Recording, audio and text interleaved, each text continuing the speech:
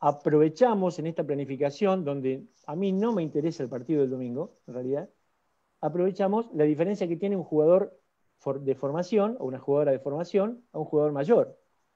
Por ejemplo, a mí me pasa permanentemente, yo trabajo en un club de mi ciudad con niñas o jovencitas de 17 años, 18, hasta 19, y cada vez que surge un problema o hay un error en lo que hacen, lo toman como una necesidad de entrenar. Y me dicen, bueno, yo necesito entrenar esto porque no me sale. Los mayores sufrimos ese error.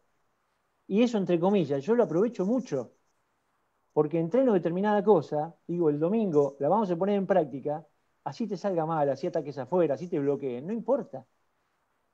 Y eso se toma como una necesidad. Claro que depende mucho de nosotros, ¿no? Si, si dramatizamos el error y eso, bueno,